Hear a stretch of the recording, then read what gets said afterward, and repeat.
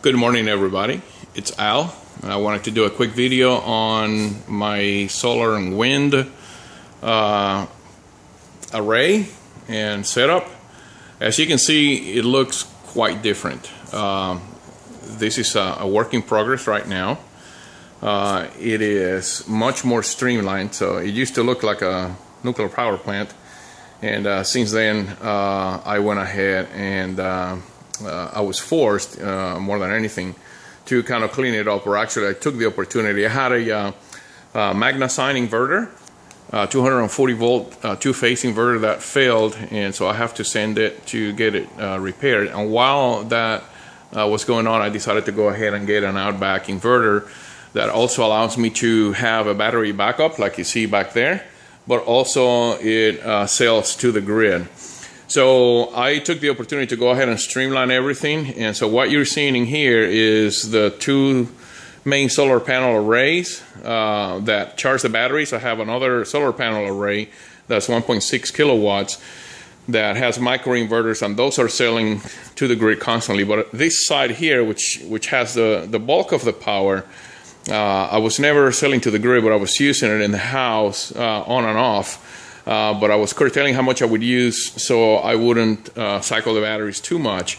Uh, what this Outback um, inverter allows me to do, it allows me to charge the batteries. It has an internal uh, battery charger, plus obviously, um, you know, it charges through these charge controllers but uh, it does have an equalized setting that I can use and program it so I can equalize, uh, send an equalized charge to the batteries for maintenance about once a month or so.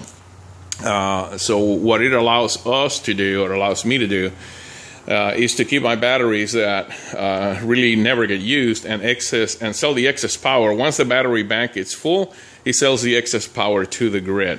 So let's take a quick look at uh, what's going on here. So this um, inverter, it's a single phase inverter. Now I originally wanted to order a uh, 3500 watt 24 volt inverter and uh, I accidentally um, ordered the wrong one. I ordered a 3600 watt 48 volt.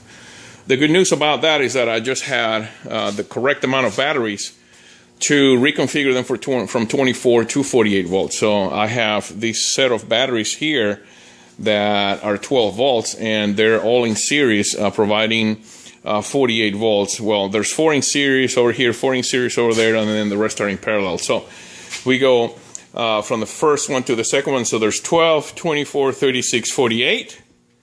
And you can see that there's a cable going from this one to this one here. And so that's my parallel connection to the other bank. That other bank is going uh, from series from here to here. So 12, 24, 3648 and then you'll see that in the negative of this one here I have another parallel connection to the last battery here. So all I have to do to draw 48 volts is draw from this terminal here on this battery and from uh, this terminal over here on the other battery bank and that way it allows me to go and and draw power from the entire battery bank now uh, this single phase, this is a single phase inverter. So luckily enough, I had a T240 transformers that you can see in some of my other videos that I, I was using as a standby system with a, uh, with a different uh, type of uh, inverter, which I took down just so I could keep things clean. And so the uh, there are no electronics in that. That's just really a huge transformer, and there are no uh, solid state electronics inside. And what that allows me to do is allows me to create a, se a second phase out of that. So I have 120 volts single phase coming out of here, and then that power comes out of uh, comes out of the inverter from here, uh, from this wire, goes into the T240 transformer, and then out as a two-phase uh, 240 volts, so 120 uh, volts for, per phase. And then goes, that goes out to my system. So that's a great way if you want to don't want to spend, you know, seventeen hundred dollars uh, or two thousand dollars is really what it what it'll amount to. Uh, to have a, a single uh, Outback inverter, you can spend that money here and then spend uh, you know, about four or five hundred bucks into that T240 transformer, and you have two phases. So you can drive pumps with that. You can run a washing machine. You can pretty much do everything that you need to. Uh, if we look at the charge controllers, let me see if I can uh, show it. Uh, so it, well, let me see if I can cut down on the glare so it shows better. Uh, we're gonna look, go to today. Today we've produced 0.22 kilowatts, so not a whole lot. Uh, if I go down to minus one day, I can see that yesterday I produced 11.1 kilowatts of power uh, out of this uh, uh, solar array. And what that was doing, it was actually sending the power from here to the inverter, which was also connected to the batteries, and it was sensing that the batteries were actually at 52 volts, which is my 48 volt bank fully charged, and they were sending the excess, selling the excess to the grid. Uh, this other battery bank or this other pan, uh, panel arrays, a one kilowatt array uh, from my Harbor Freight uh, uh, panels, and uh, that guy yesterday sold. Let's see Today it's at 0.06 kilowatts. Yesterday, oops, let me go back to that here.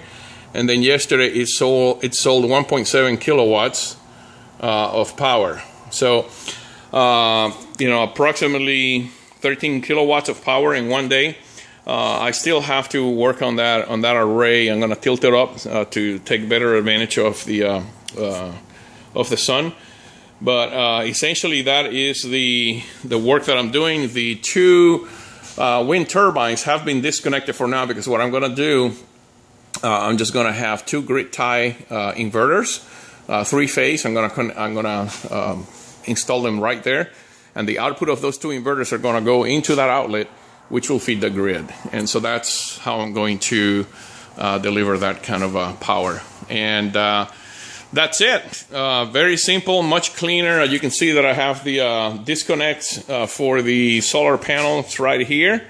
Uh, there's also fuses inside, but I can turn the power on and off at will. And then uh, I am working on these, uh, well, I'm not working, I'm doing battery maintenance down here, and I have to reconfigure them to 48 volts. So I'll go 6, 12, um, and then uh, 18 and 24 and then so on all the way to 48 volts at the end. So that's one bank here ready to go. Uh, right now I'm doing uh, you know checking the water level checking the specific gravity on them uh, and now I'm going to uh, work on the cables clean them up and uh, connect them everything's going through the switch here. The selector switch really allows me to choose the second battery bank, which is this uh, set of 12 volt batteries up here. That's what I've been working on. And then uh, the number one battery bank, which is on this side here. Let me see if this will actually, there we go. Uh, the number one battery bank here uh, is going to be those uh, green batteries that you see uh, down here. And uh, in the normal running mode, I will just use that setting 1 plus 2. But it allows me the flexibility to take a, um, a system where one of the battery banks offline so I can do maintenance on it and not have a current drop. Uh, so anyways, uh, thank you so much for watching. Uh, post any comments if you have any questions and I'll try to answer them the best that I can. Uh, oh, by the way, these uh, uh, Outback inverter also comes with uh, something called the mate, and it, it just kind of gives you totals on, you know, how much you're buying, uh, how much you're selling right now. There's still really no appreciable um, sun because it's really early in the morning. It's really well, it was really foggy until a few minutes ago. You can see uh, kind of what it looks like outside. Uh, so you're not gonna see any selling right now in here, but uh, it's very simple to operate. You can kind of just go in here, go to status, um, go to the FX, and then you can go to meter and you can see, you know, that it's in sell mode. I don't know if you can see that right now. Uh, and uh, it'll tell you how much uh, you're actually selling. it tells you the output voltage, the input voltage, and so on and how much inverter current. Well, right now, I guess we are selling one amp right now. So not a whole lot being sold at this point because it's uh, uh, there's really no much sunlight. But uh, once uh, the morning uh, sun uh, burns out the fog and the and the clouds, then you're going to see that jump up quite significantly, and so we'll be selling good power to the grid. So thanks for watching, everybody. God bless.